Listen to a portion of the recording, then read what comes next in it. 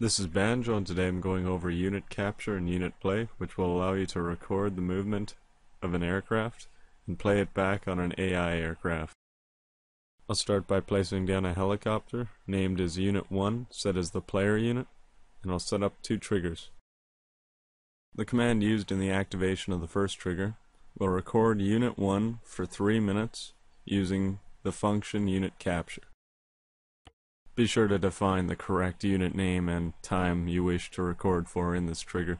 Set the activation to radio alpha so you can call the command whenever needed. If you wish to use the trigger to play the recorded path on the AI unit, then set up a second trigger with an activation of record brackets spawn my path. I'll be executing this from the init.sqf in this example. Next, define the file name used for the path data by using mypath equals compile preprocess file and then the script name, which in this case is path.sqf. Next, create the path.sqf file and add the function for unit play.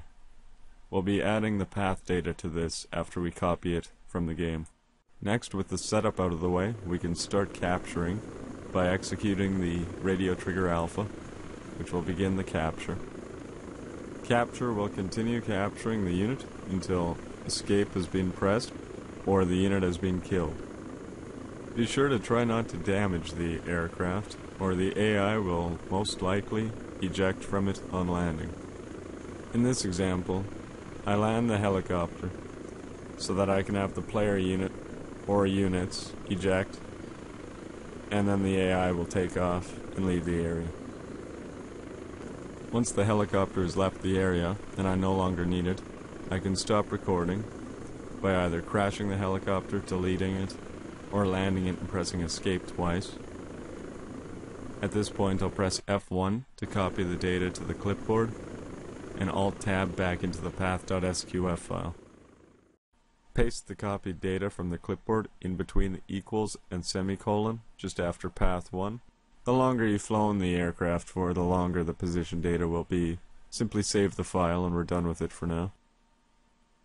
Depending on how you choose to execute the path data in game, you can use either a trigger, a script, or in this case I'm calling it from the init.sqf file, so it's executed on mission load. The final steps to set up the scene as it will appear in game. In this case I want the unit riding in the helicopter to be the player, and the aircraft to be AI. Finally, delete the trigger to call the unit capture command as it's no longer needed. In this case, I'll also delete the second trigger as I choose to execute the scene through init.sqf instead of trigger use.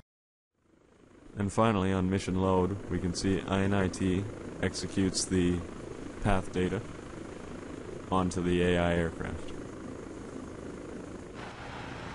Now I'll let the rest of the scene play out to demonstrate the unit play command.